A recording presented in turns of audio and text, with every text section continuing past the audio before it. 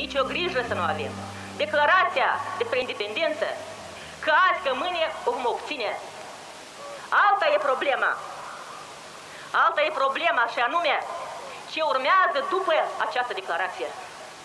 Republica Moldova va fi un fel de stat vasal pentru puterile din Est, un stat artificial, o static pentru România și un fel de stat tampon pentru puterile din Vest. Bineînțeles, dacă nu vom lua toate măsurile de rigoare spre evitarea acestui trist denodământ. Leonida Lari, vocea prin care se auzea dorința unei națiuni întregi de a trăi liber într-o țară independentă. Era acolo, la Marea Adunare Națională, unde își spunea oful și greul din interior. E unul dintre inițiatorii și liderii mișcării de renaștere națională. A cunoscut timpuri grele și spunea de multe ori că, în truda de a avea o independență și o țară frumoasă, își putea întâlni moartea la fiecare colț. Noi, o mână de scritori, ziariști, din Basarabia, știți foarte bine că am început mișcarea de eliberare națională de acolo.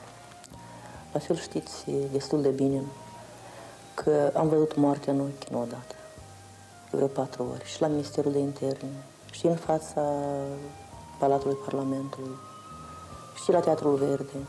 Deci de patru ori am văzut moarte în ochi la sigur. Leonida Lari s-a născut în octombrie 1949 în satul Bursuceni, Sângerei, într-o familie de învățători. Între anii 1965-1971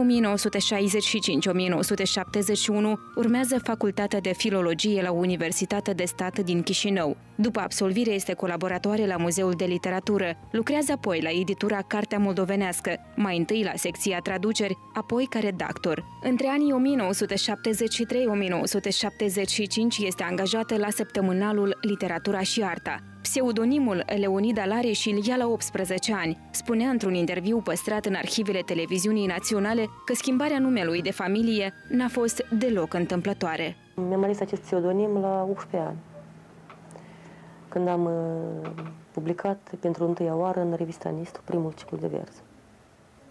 Și iarăși, mulți ani mai târziu, am aflat că există um, un zeu care îi zice Lari, care se află um, în nodul simpatetic uh, din regiunea laringelui, aici. Și că oamenii, vă zic, că încep să cânte, încep să spună poezii, în genere uh, le ajunge sufletul la gură când energia spirituală ajunge în acest punct.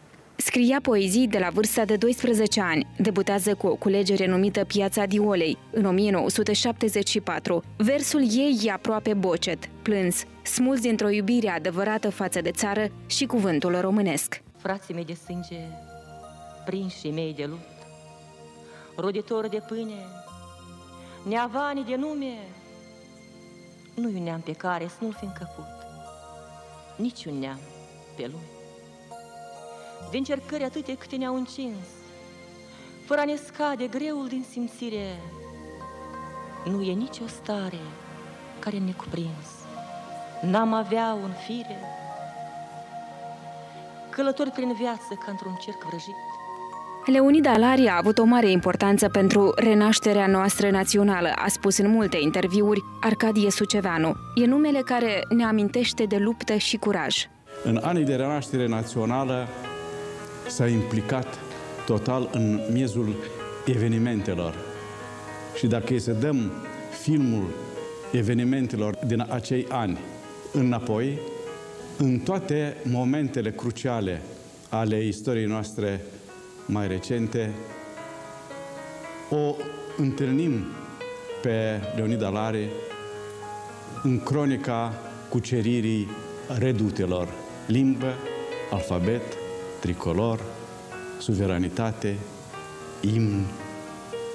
Cărțile ei de atunci au ajuns să fie o adevărată cronică a renașterii basarabene sub semnul românismului. Cuvântul Leonidei Lari știa să ajute lumea, să o îndemne să creadă în bine, susținea Nicolae Dabija. În fața acestei femei, mulțimea avea putere și credință.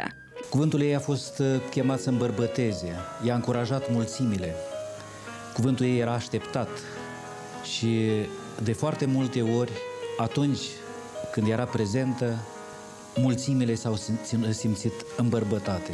Leonida Lari rămâne exemplu de bunătate, de femeie puternică. A avut curaj, demnitate și forță să meargă spre bine și spre libertate. Versul ei nu înseamnă doar poezie, ci lecție de luptă pentru propria viață și pentru soarta unei națiuni întregi.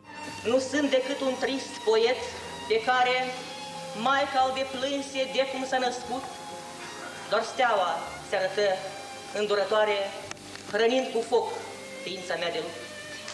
Oricum mi-e strâmb sub soare și sub lună, fiind o punte între morți și vii, doar câteodată viața îmi pare bună, când scriu suave, dure poezii. În anul 1996, Leonida Lari a fost distinsă cu Ordinul Republicii. S-a stins din viață în decembrie 2011 la Chișinău.